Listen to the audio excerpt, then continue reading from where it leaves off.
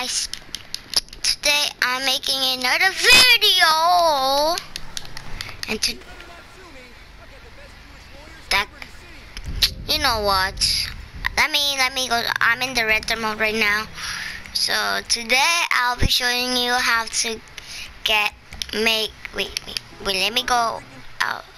Wait, let me go right. Let me go to Franklin. I'm quitting the retro mode.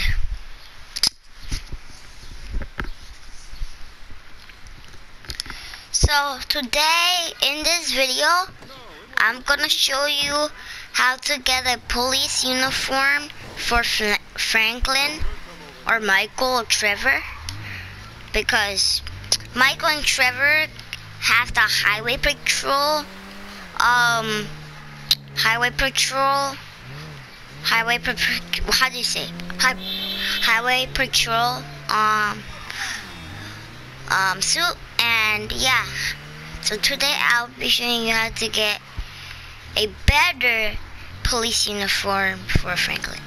So first if you're in a car just get out the car. Then you wanna double tap the uh you know where the light is? You know where the light is?